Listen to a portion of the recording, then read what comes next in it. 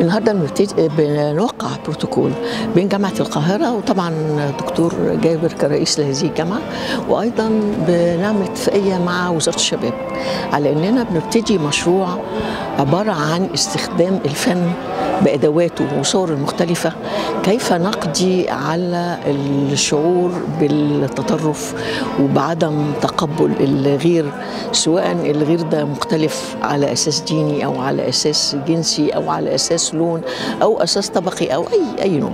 بس خاصة التطرف اللي بيبقى على أساس ديني أو على أساس جنسي نوعي بيبقى شديد شوية. وإحنا كمصريين الحقيقة ما هوش طبعنا. هذا التطرف وهذه وهذا التمييز.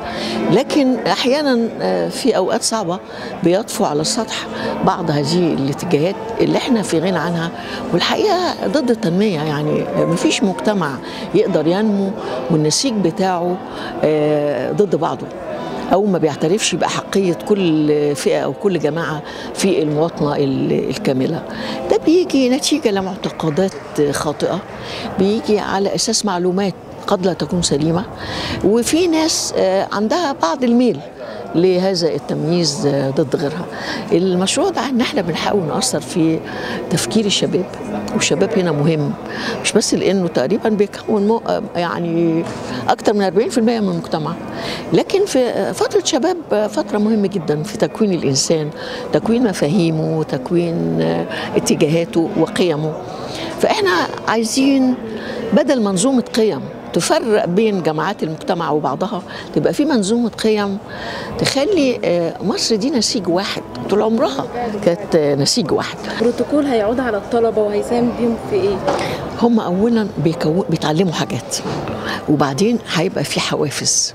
لهم مش هياخدوا فلوس في إيدهم لا هياخدوا يعني إحنا لسه ما فكرناش هياخدوا إيه لكن هيبقى في تنافس.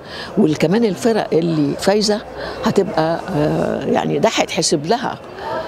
بعد كده وهتاخد نوع من الحافز المادي والأدبي في نفس الوقت طب هيشمل جامعات تانية ولا جامعة القاهرة بس؟ إحنا مبتدئين مع جامعة القاهرة ومع وزارة الشباب فإن شاء الله نرجو أن المشروع يستمر ويشمل محافظات أخرى. طب إن شاء الله. ابتديتوا بجامعة القاهرة؟ لأن هقول لك يمكن أحد العوامل أن الدكتور جابر نصار وهو رئيس الجامعة وراجل مثقف وهو ابتدى فعلا زي ما تقولي رحلة تنوير. ده جزء من رحلة التنوير اللي هو عملها. هو عملها بالأدب. فإحنا بنضيف كمان وابتدى في الفن. فإحنا بنساعد في الجزء الفني اللي هو ابتداه.